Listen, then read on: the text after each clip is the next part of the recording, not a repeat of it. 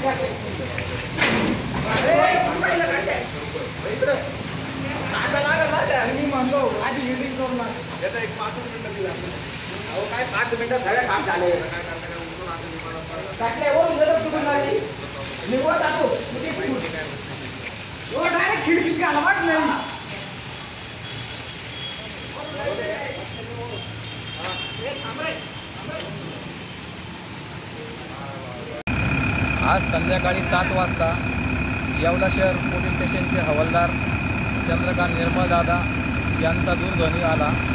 Hotel सहारासमोर spare दुकानाला मोठी आग लागली आहे. त्यांचा निरोप येताच तात्काळ अग्निशमन दलाचा बंब घटनास्थळी दाखल झाला आणि माझे सहकारी बद्री उमरवाल अंबादास लावणे हर्षद संसारे प्रमोद शिंदे यांच्या मदतीने आम्ही आगीवर तुटून पडलो.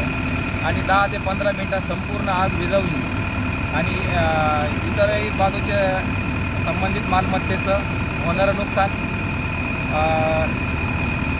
टाळलं